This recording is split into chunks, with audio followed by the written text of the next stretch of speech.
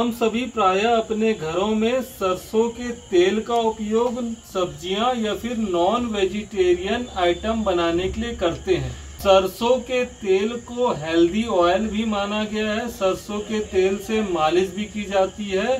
परंतु आजकल सरसों के तेल में मिलावट की रिपोर्ट आ रही है।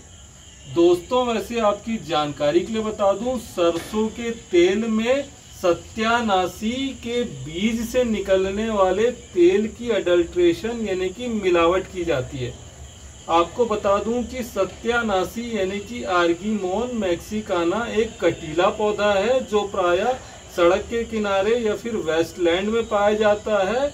उसका, उससे निकलने वाला तेल हम मानव शरीर के लिए बहुत हानिकारक होता है। आर्गीमोन मैक्सिकाना यानी कि सत्यानाशी के तेल में हानिकारक एल्कोलॉइड सैनगेरीन पाया जाता है, जिससे मानव में पैरालिसिस यानी कि लकवा जैसी बीमारी देखी गई है। नमस्कार दोस्तों, मैं डॉक्टर केशव चंद्र राजंस पुनः उपस्थित हूँ आपकी सेवा में एक बहुउपयोगी जानकारी के साथ। फसाई, यानी कि food security and standard authority of India जो कि भारत में खाद्य पदार्थों के मानकों को निर्धारण करती है।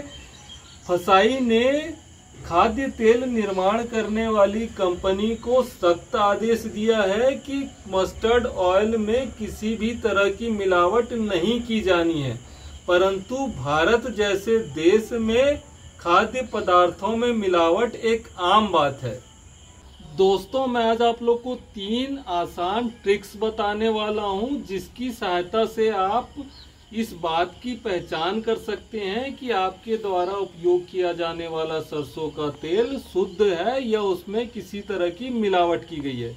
दोस्तों, शुद्ध सरसों का तेल देखने में गाढ़ा और चमकदार होता है।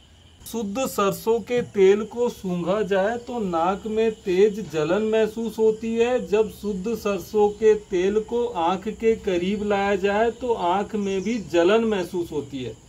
आपको बता दूँ कि सरसों के तेल में आइसोथायोसाइनेट नाम का फाइटोकेमिकल पाया जाता है, जिसके कारण से आँख और नाक में जलन महसूस होती है। दोस्तों, यदि शुद्ध सरसों के तेल को हाथ में लगाया जाए तो उसकी महक काफ़ी लंबे समय तक बनी रहती है। दोस्तों, यदि शुद्ध सरसों के तेल को रेफ्रिजरेटर में रखा जाए, यदि तेल सफ़ेद परत लिए जम जाए तो समझ जाइए कि आपके सरसों के तेल में किसी और तेल की मिलावट की गई है।